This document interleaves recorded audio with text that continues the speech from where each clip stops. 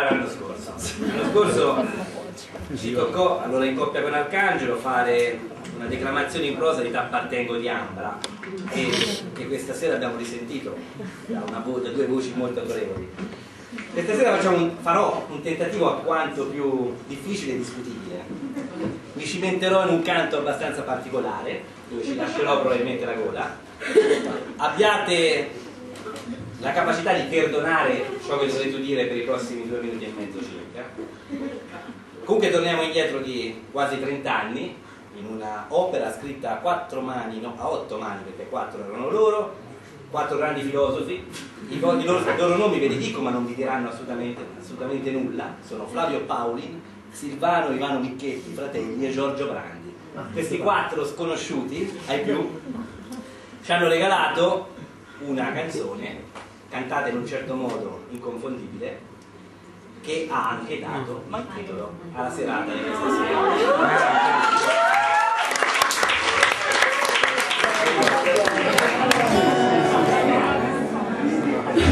Un, due, tre, quattro,